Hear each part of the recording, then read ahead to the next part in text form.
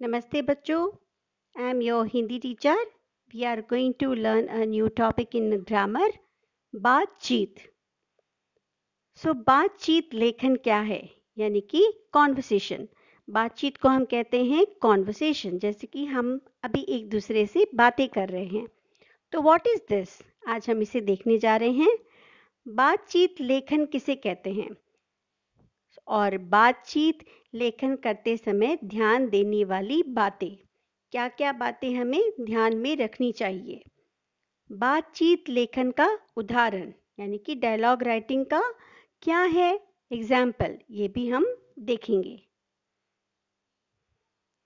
तो बातचीत लेखन किसे कहते हैं बच्चों?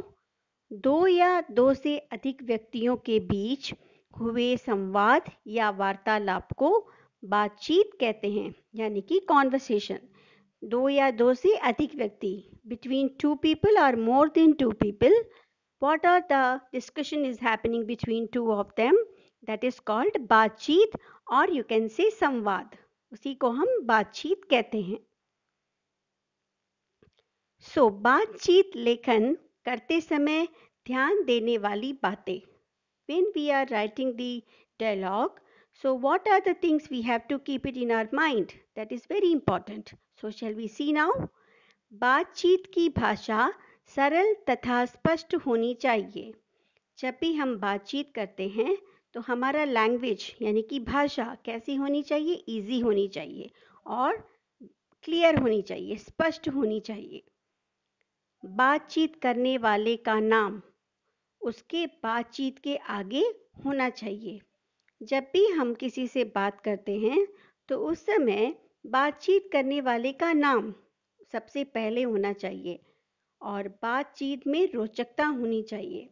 The topic should be interesting when the conversation is happening the topic should be very interesting बातचीत के वाक्य आपस में जुड़े होने चाहिए। तो जब भी हम बातचीत करते हैं इट शुड बी को related it should be related to the topic so now we are going to see one example here तो यहाँ पे एग्ज़ाम्पल देखिए पिता और पुत्र के बीच बातचीत संवाद। सो so, यहाँ पे पिता और पुत्र दोनों बात कर रहे हैं। तो क्या बातें हो रही हैं? पुत्र कह रहा है पिताजी मुझे बस दस रुपए चाहिए।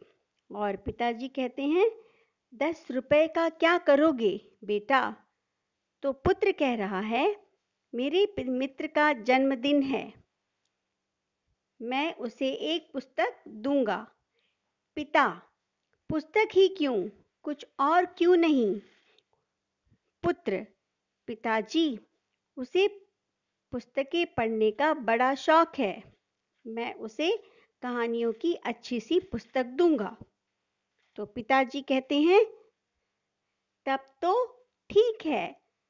तो ये है बातचीत यानी कि पुत्र और पिता के बीच का डायलॉग धन्यवाद बच्चों। इसी तरह से अभ्यास करिएगा। हम अगली कक्षा में फिर से मिलेंगे।